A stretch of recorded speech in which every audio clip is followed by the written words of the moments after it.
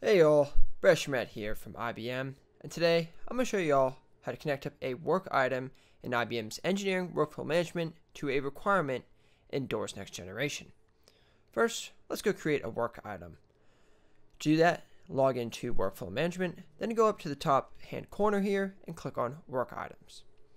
Then click on Welcome to Work Items. Finally, click on Create a Work Item. I'm just going to put in example requirement work item. I'm going to change the type to do a task and then go over to the links column here. Then click on the drop down menu right here and we have a couple different options that we can do.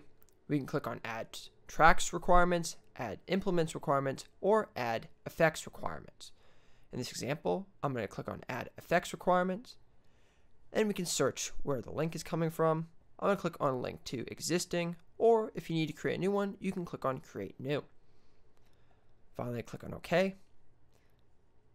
And we need to go search for where the artifact is that we want to link to. I'm just going to select one right here, and I'll click on OK.